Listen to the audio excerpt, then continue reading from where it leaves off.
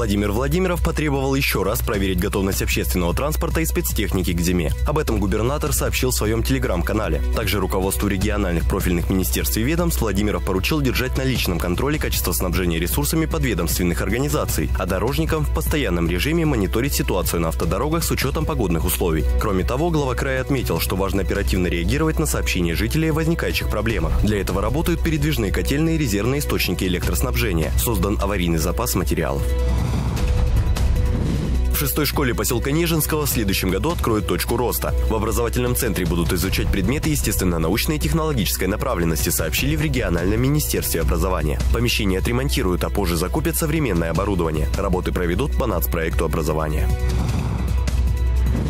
Завершился капитальный ремонт 10-километрового участка трассы Красногвардейская-Покровская. На отрезке обновили покрытие проезжей части, укрепили обочины, установили знаки и нанесли свежую разметку, сообщили в региональном Миндоре. Работы провели по национальному проекту «Безопасные качественные дороги»